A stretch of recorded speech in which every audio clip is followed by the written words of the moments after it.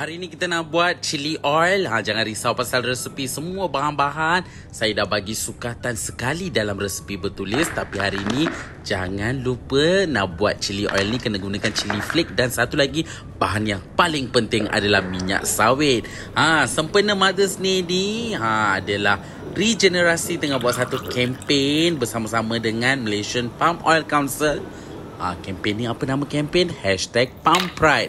Ah, kita nak sebar sedikit kesedaran tentang sustainable palm oil. Especially bila kita guna dalam cooking. Ha, memanglah berlemak, berkrim dan juga sangat-sangat sesuai untuk masakan-masakan vegan lah. Tak perlu cakap lah benda tu kan.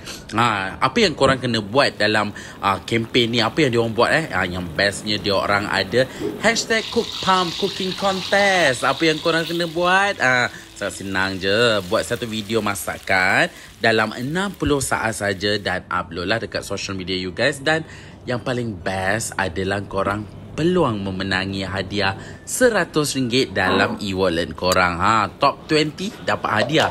Tunggu apa lagi? Saya dah siap sedia dah dengan saya punya cook palm punya video. Ha, inilah chili oil. Korang pula nak buat apa menggunakan minyak sawit?